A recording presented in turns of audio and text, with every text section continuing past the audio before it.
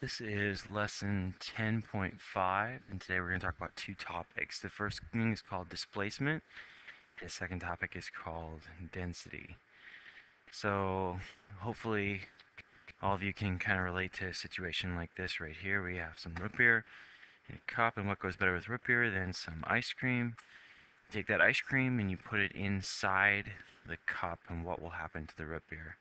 And hopefully what you're thinking is, well, when I put the ice cream in, the root beer will rise up. Because the, the point being is that the, the ice cream itself takes up space or volume inside the cup and displaces the root beer, causing it to rise. So, uh, you know, all the things that we've been finding volume of are things that are nice, you know, cubes, cones, cylinders, uh, pyramids, things like that. But what, what happens if you have something that's odd, like this shape right here? This happens to be Plymouth Rock.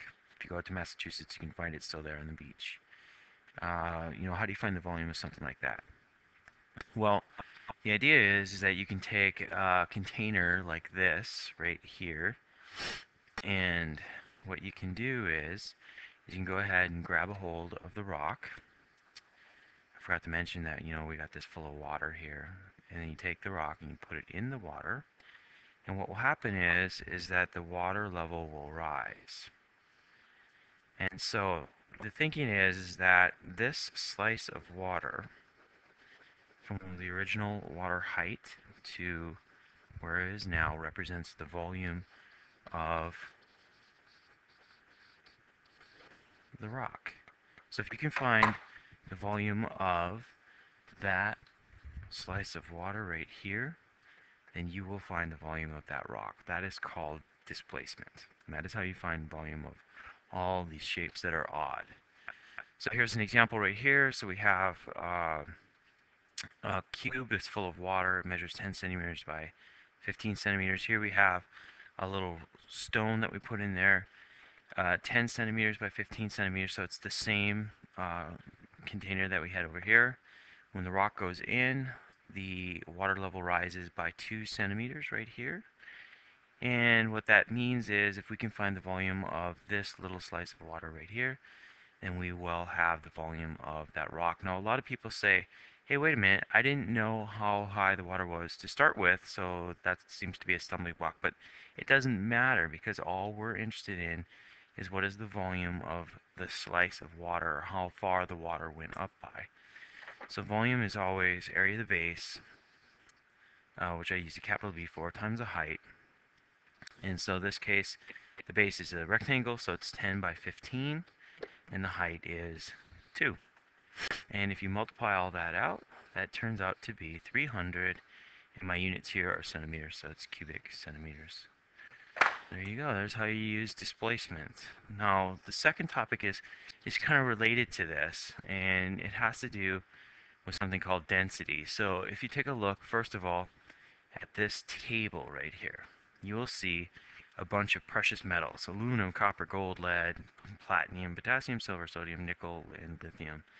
And as it turns out, scientists have discovered that each of these metals has a specific density uh, that only that metal has. And so if you can figure out the density of an object, you can figure out what metal you have.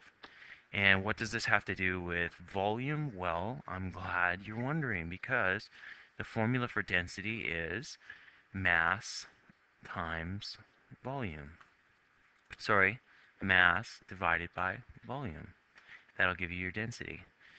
And uh, for uh, some, making things more simplistic, we can think of mass as being uh, the weight of something here on Earth. And uh, we calculate volume the way we always have. So let's let's try this little problem here. It says a clump of metal weighing 351.4 grams is dropped into a cylindrical container, causing the water level to rise 1.1 centimeters. The radius of the base of the container is 3 centimeters. What's the density of the metal?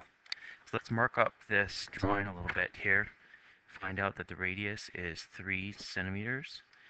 And I don't know, there was a water level right here. And when you put the rock inside there, like this, turns out that the, the water level went up 1.1 centimeters.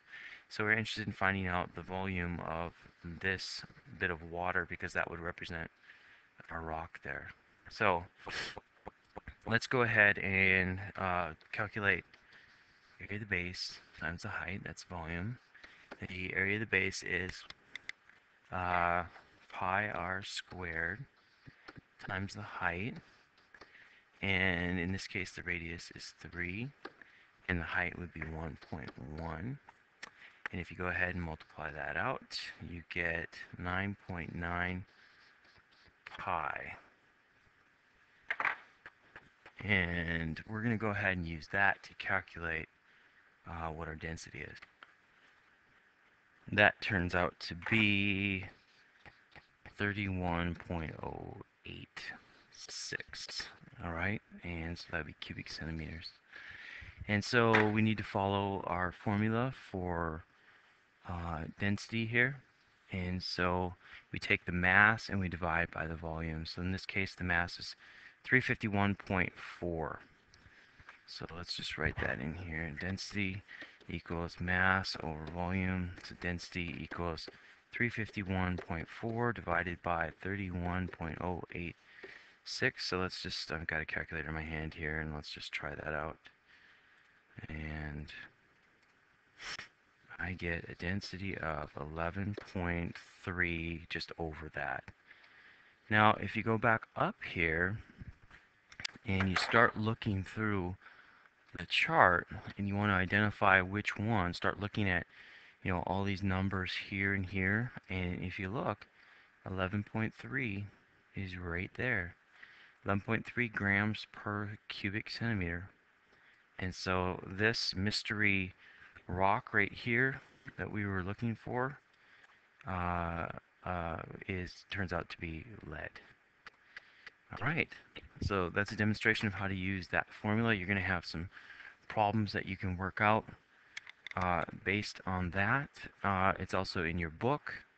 Go ahead and try the practice problems and then try your uh, assignment for the day. Thank you.